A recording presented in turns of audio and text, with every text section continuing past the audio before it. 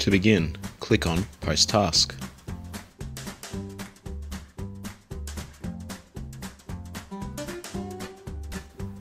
Next, you will need to give your task a descriptive title.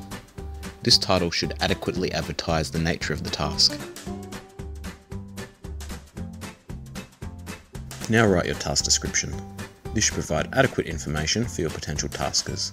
This may include materials or tools which are required, the space available for the task to be performed, what sort of access and parking is available, as well as any other information which may be relevant or helpful to the completion of the task.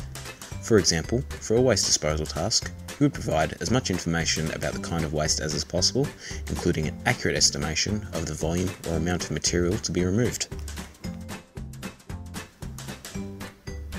Now set your task location, due date, and give a rough budget.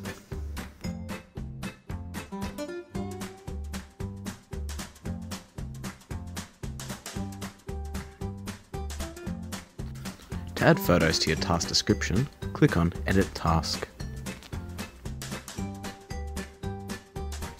Thank you for watching. If you found this video helpful, please like, share and subscribe.